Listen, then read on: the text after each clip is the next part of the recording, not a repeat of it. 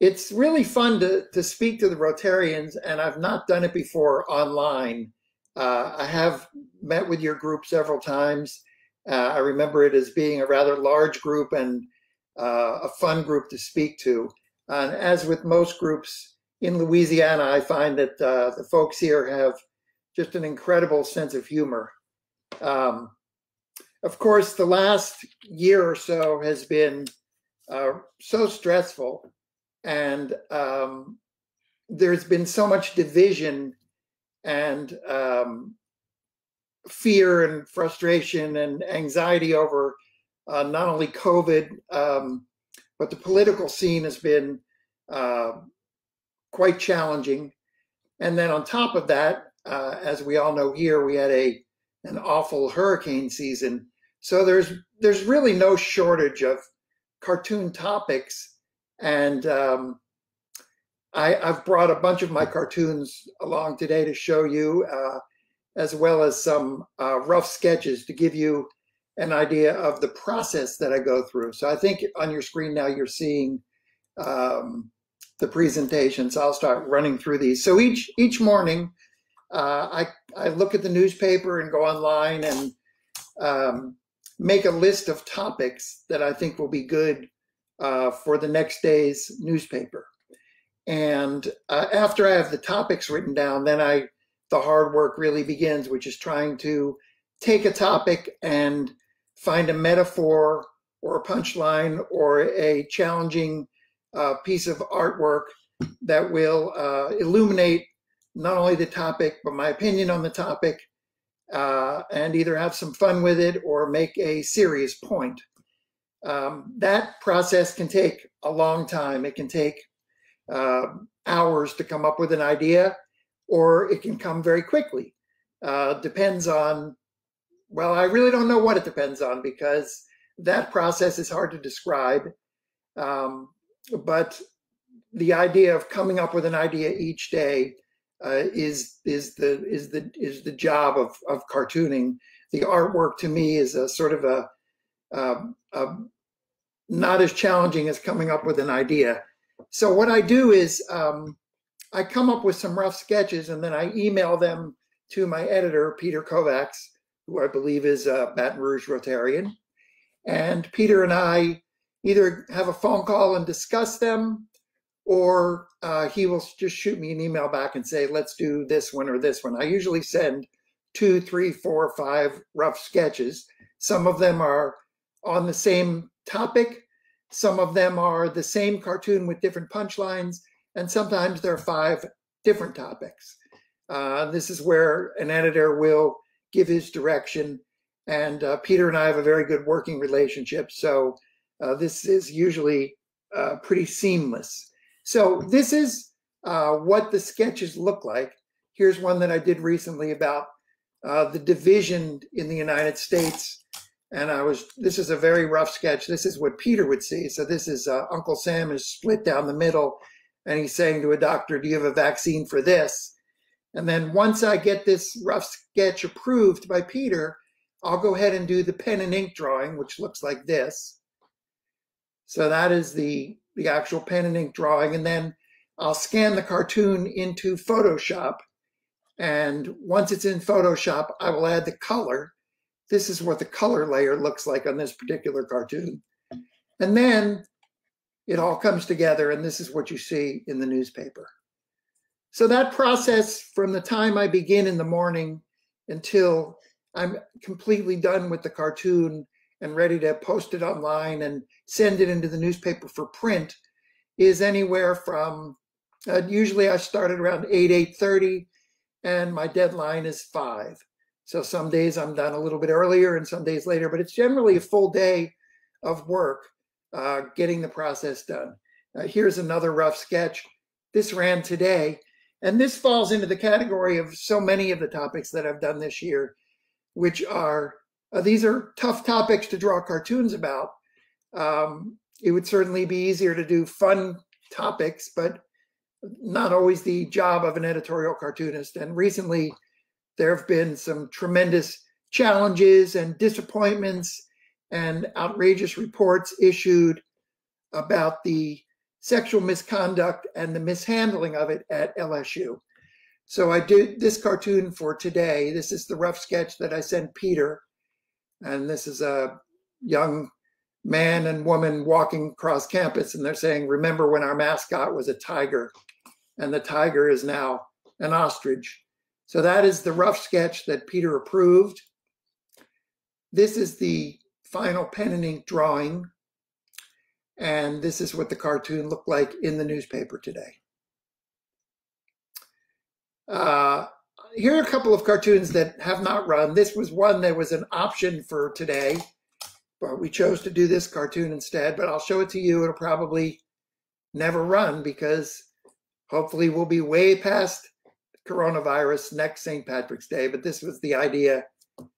This guy saying, Irish, no, but I am double vaccinated with his kiss me button.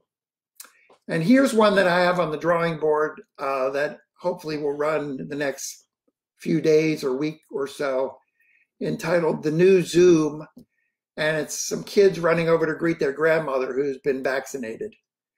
So I have lots and lots of rough sketches. I posted a picture on Facebook recently of about a 18 or 19 inch pile of ideas stacked on top of one another that is piled up on the side of my desk. I throw nothing away. When I come up with a sketch or an idea or a general concept for something that I think might think would make an interesting cartoon, I always keep it and I either scan it and put it into my computer where I have thousands of ideas that have not been used, or I have it on this big pile on the side of my desk. So let's go through some cartoons that harken back to 2020. Um, I did a bunch of cartoons when we were all in lockdown and quarantine. Uh, this was the most popular one that I did. It had um, tens of thousands of shares on Facebook. You may have seen it. It's a couple of kids, and the one kid saying, Mom, we need haircuts, and the other guy saying, I'm dad. So we all went through the bad hair days. Hopefully, we're coming out on the other side of that. Also, we were stuck inside binge watching shows so I did this cartoon. We're binge watching a show about superheroes. There were so many stories about the heroics in the ICU units, as well as so many other people that helped out uh, throughout the past year. A lot of times I like to do a cartoon that just sort of touches on a moment, um, how we all feel. And it was really tough, especially in a place like Louisiana where people are big huggers not to be able to have any personal contact with people.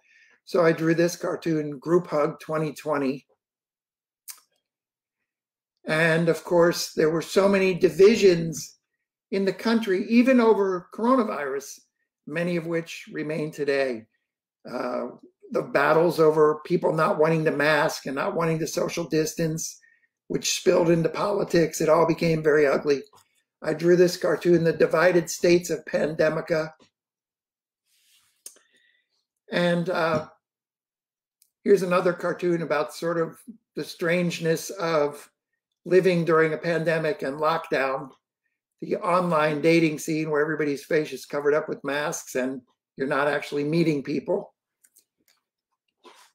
Then uh, did this cartoon about uh, the ongoing mask debate. And uh, there is an I in unity, but unfortunately in this case it, we used it differently. So of course each state, along with the um, political divisions, if you will, in Washington, each state had their own set of issues. Here, uh, the governor uh, was very slow and careful and followed the science in terms of opening up, but he had his legislature wanting to go much quicker so he's doing a thing here that says the reopening duet, and he's saying it starts slowly, follow me. And of course, we have the legislature back there with a tuba ready to blow it wide open. And then occasionally I would have some fun with sort of terms that we had not heard before, we really hadn't used before. So this is a, a, a couple, and the wife is saying, "Where are you going? Who's going to be there? When will you be home? Who's driving? Do you have your phone?" And the kid is saying, "Jimmy's parents are the original contact tracers." Occasionally, I really like cartoons that don't have a lot of words in them, and I did this cartoon about hopefully uh, trying to influence people to wear masks to slow the spread. So I did this one called Surge Protector. Here's one about Mardi Gras. But now we won't catch anything. I think that's the point. Now, in Mar- in uh, New Orleans, the mayor Latoya Cantrell talked about uh, during the pandemic starting a no driving zone in the quarter, uh, perhaps as a spinoff after the pandemic. So I had some fun with this. This guy saying, "I'll meet you there. I think my Uber's here," and this horse is saying, "You, Bob." Another one about our division people argue about everything these days. No, they don't. Now, in the middle of it all, we had an incredible hurricane season, which was a quite a challenge for mostly the folks in Southwest Louisiana, but for all of us. I drew this cartoon. Sally is a cat one. New Orleans is in phase two. The state's in phase three. Laura was a cat four, and I need a fifth. I also drew this one as the hurricane season wore on. The cleanup begins uh, in a state where people are known for pulling together. Of course, the biggest problems took place after Hurricane Laura, the power outages and all the problems in Lake Charles. I drew this one a couple weeks later in the hopes that people would remember and help. And then as the season grew even longer, I drew this cartoon. It's just until the 2020 hurricane season is over. So at Halloween, I did this one. It's not a costume. I've, it's been like this since I've been like this since February. And that, of course, leads us to the uh, national politics, which was like a uh, a virus in and of itself. We had uh, the Trump presidency. This virus is just going to magically disappear, as Ada is saying. Those are your poll numbers. We had the Democrats. I'm excited about Biden. Check his temperature. More problems. The, the president uh, grounded a fleet of airplanes, and here the Republicans are saying, How we get him to ground this fleet with the never ending tweeting? And then we had the Democratic fight within the party pull left, drift right, level out, stay in the center, swing right, hard left. Let me steer. When the election was over, it really wasn't over. And I did this one about the Trump lawsuits pouring in. when uh, Edwards ran against Rispone, I did this cartoon. There's been a major development in the governor's race with Kocho taking the lead.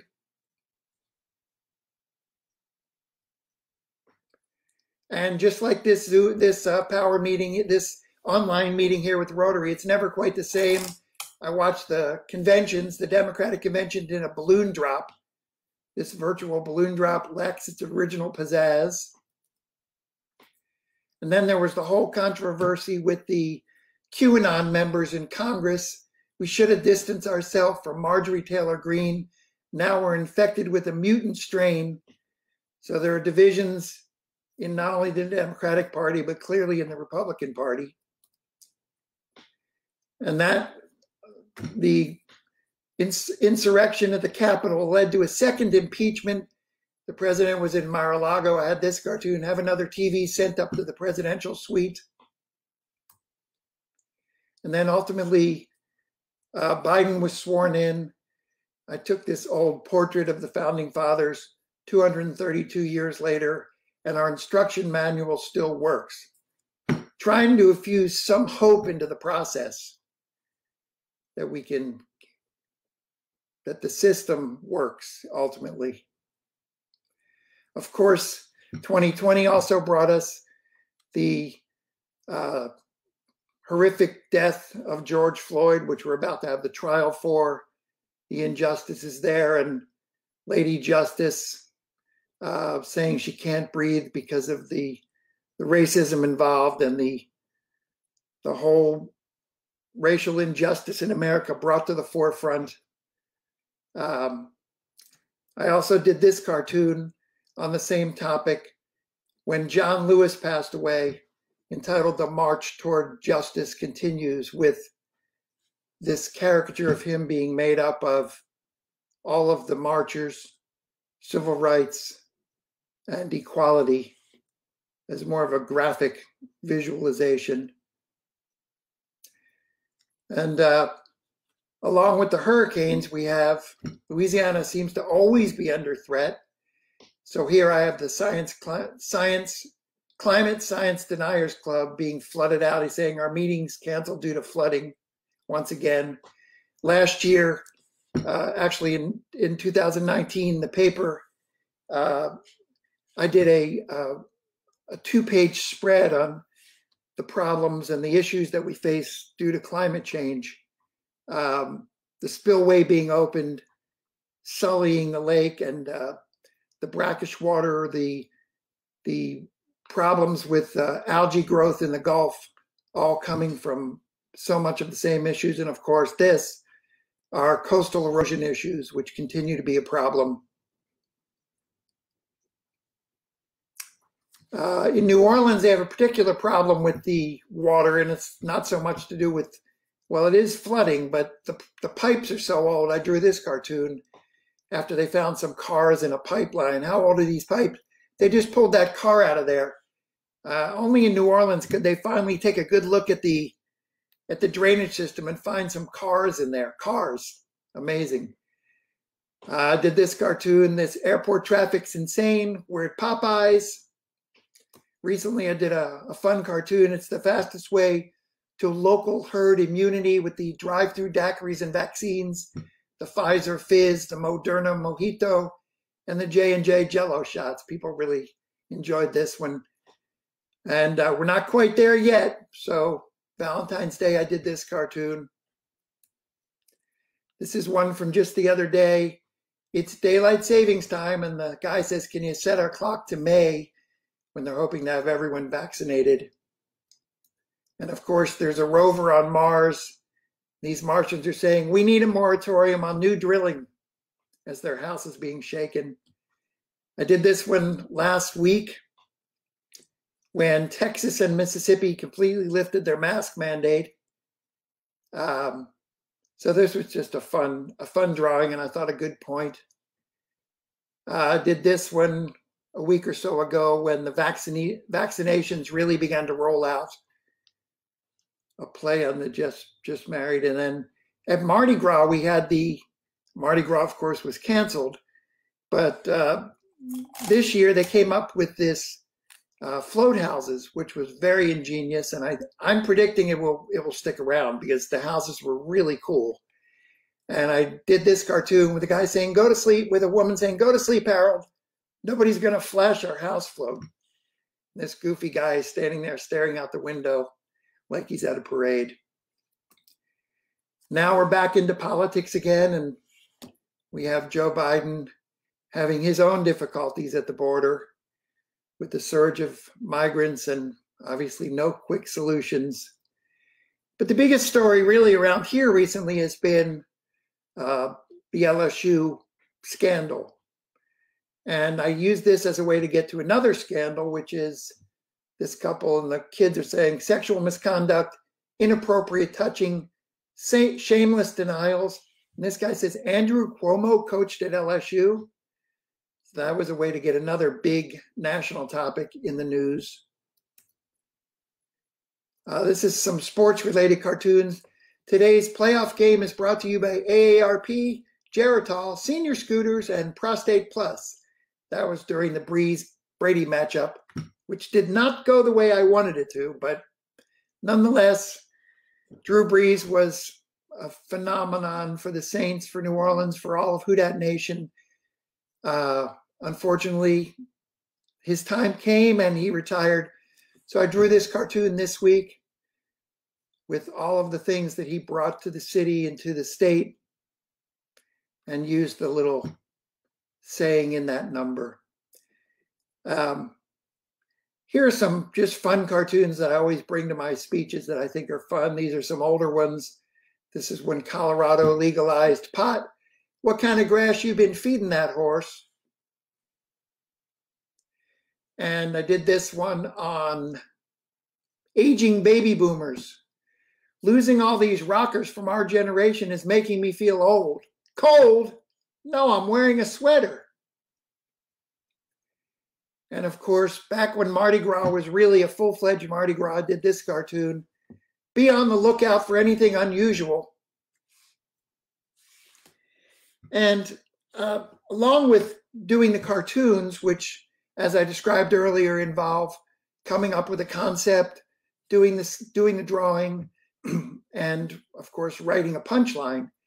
Uh, I get to do occasionally some side things. So I was happy enough to do these cartoons about Joe Burrow and the Tigers winning the national championship, which was awesome and really fun. And then, as Robert mentioned, one of the most popular things that I do at the paper is the cartoon caption contests every week. And um, you know, I did these I did these caption contests when I was in New York, and we got a few responses, but nothing like we get here. And I'm convinced it's because everyone here has a great sense of humor, and they are also uh, funny personalities. People are very much characters here, and they like to tell jokes, so they're not shy. People in Louisiana have never been accused of being shy. So I started doing these caption contests and I was amazed at the amount of uh, responses that we got, and it has grown and grown and grown. So I just thought I'd show you a couple. I did this one actually doing during the uh, the flooding in New Orleans, and when they found those cars. And I'm bringing showing you this one because it had the most responsive of any we've ever had, uh, well over 800. And I thought the punchline that the person wrote was really funny. So this is what I offered them to fill in and this was the punchline. He says, Now what did you find? He says, There's another city down there and they're pumping the water up, which I thought was incredibly creative. It's really hard to pick a winner. We get so many funny entries, which is why we generally run a lot of finalists.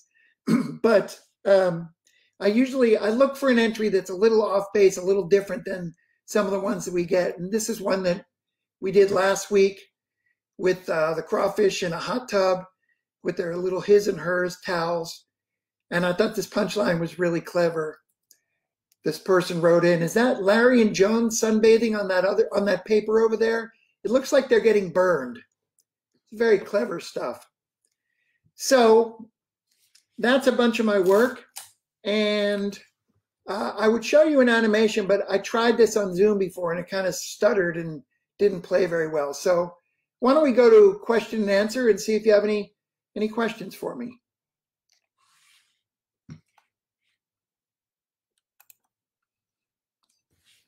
Enjoy having the cartoons more than anything else in the paper, honestly.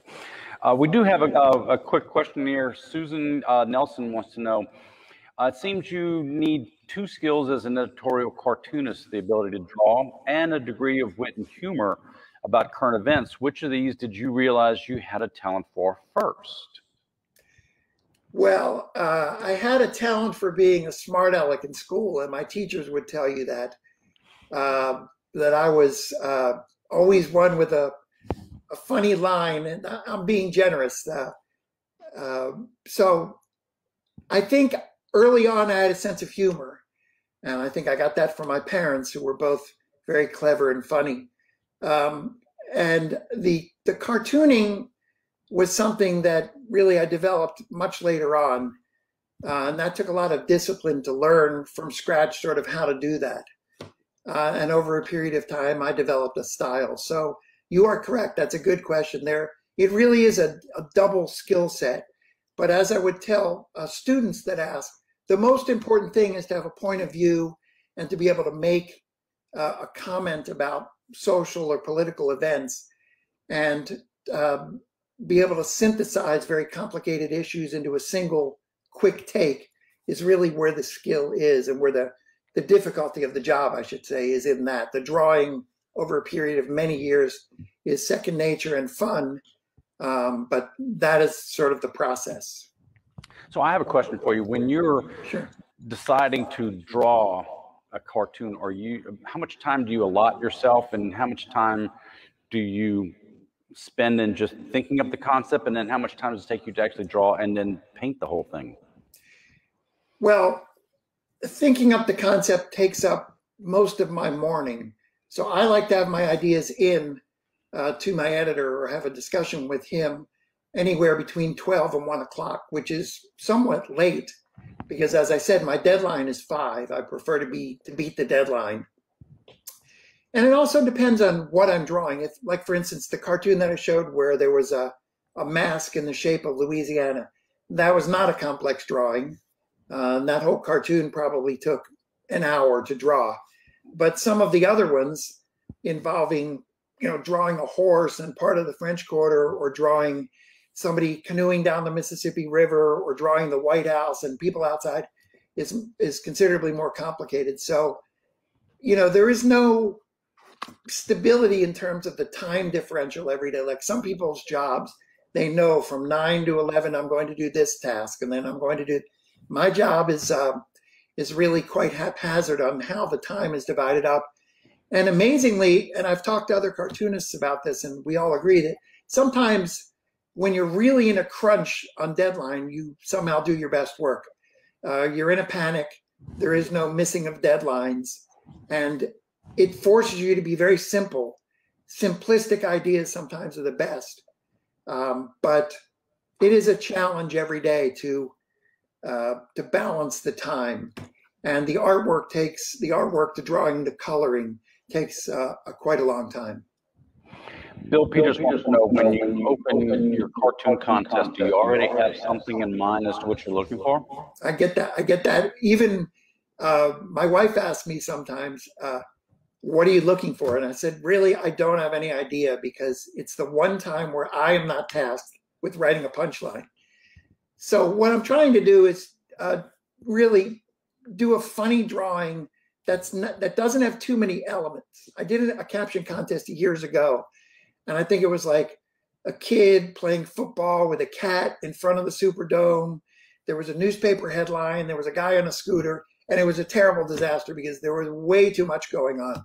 So what I try and do is just set up a funny concept, and then let the punchline let let the readers surprise me, um, and uh, they really do. And it's it's amazing. We have so many creative folks out there, um, and there's there are a handful of ones that are finalists quite a bit. They're very very funny.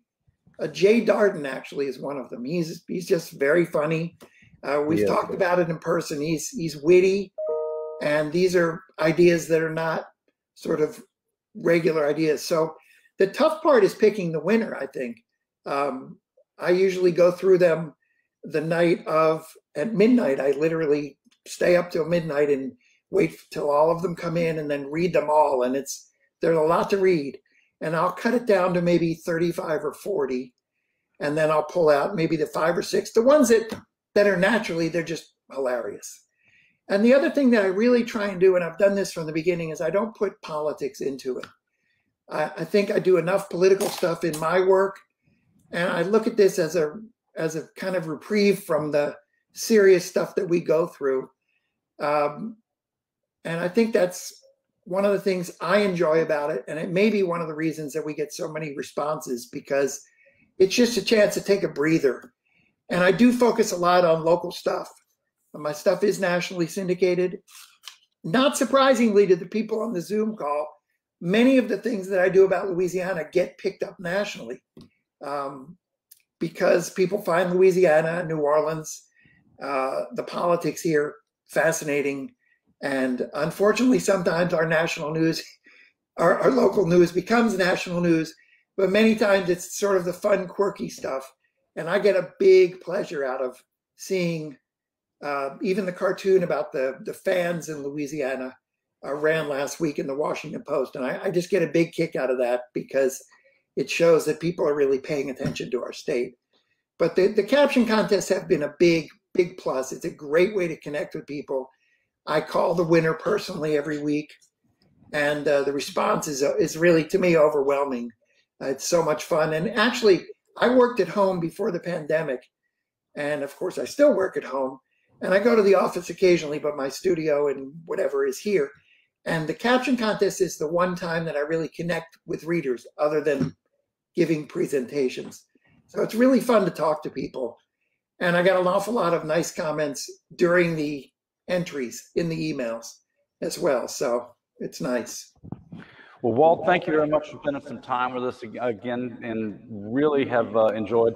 Uh, as Judith, uh, Judith, you see there, she's, you know, we've, we've very much enjoyed having you uh, share your cartoons with us. I know it's it's my favorite thing to read every morning in the paper. So thanks again for, for coming to Rotary. I appreciate it. Uh, as I said, um, I gave a, a, Zoom presentation to a Rotary Club in Simone, uh, uh, in in Northern California uh, about two weeks ago, and I, I think I made them jealous because I told them that I speak to one of the largest Rotary clubs in the country uh, with the Baton Rouge group. So hopefully, maybe next year, uh, I can get an in in person uh, invite because I can tell you from my perspective, it's way more fun to hear people laughing and responding oh. to the cartoons.